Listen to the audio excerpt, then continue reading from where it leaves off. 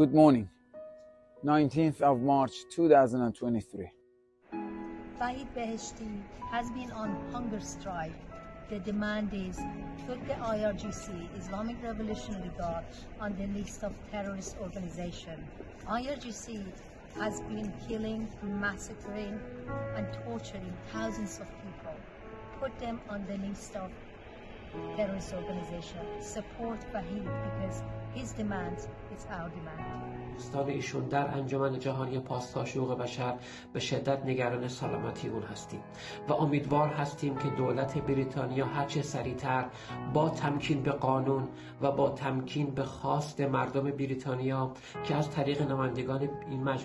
نمایندگان مجلس به ایشون به مقامات این کشور ابلاغ شده و با تمکین به خواست مردم ایران و خواست همه مردم جهان هرچه سریعتر نام سپاه پاسداران رو در فهرست سازمان های تروریستی درج کنه ما بار دیگه حمایت خودمون رو از آقای وحید بهشتی اعلام می‌کنیم آقای بهشتی ایسا رو از خودگذشتگی شما واقعا قابل ستایش است و ما از خواسته شما حمایت می‌کنیم و قلبا و روحن در کنار شما هستیم Hola Bajid, todo mi apoyo y comprensión a tu causa. Ánimo. Y mucha energía positiva para todos los iraníes. Un abrazo.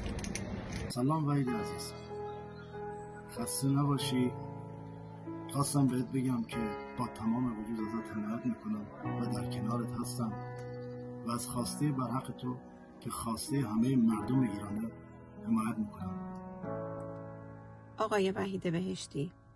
شما تنها نیستی و ما با تمام وجود در کنار شما هستیم و از خواسته به حق شما یعنی قرار گرفتن سپاه تروریستی پاسداران در لیست سیاه تروریستی حمایت می کنیم باشد که در کنار هم صدایمان به گوش دولت مردان جهان برسد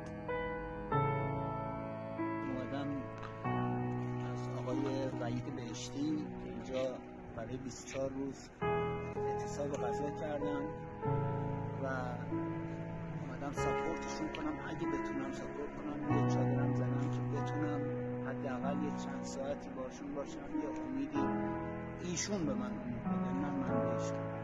و بتونیم که به امید حق بتونیم که سپاه رو به وسیله آقای بهشتی چون اعتصاب غذا کرده بذارن تو لیست تروریستی و ما بتونیم موفق بشیم و بتونیم به آرمانمون برسیم. با درود به شما بدرود به همه. آقای وحید بهشتی بسیار عزیز من ازتون واقعا سپاسگزارم به خاطر این حرکت مقدس و اعتصاب غذایی را که شروع کردین. شما واقعا یک جوان مرد هستین دلی بسیار پاک دارید پر از عشق به انسانیت خوبی و بشریت. من صد درصد حمایت خودم از شما برای رسوندن سپاه پاسداران در لیست تروریستی دارم.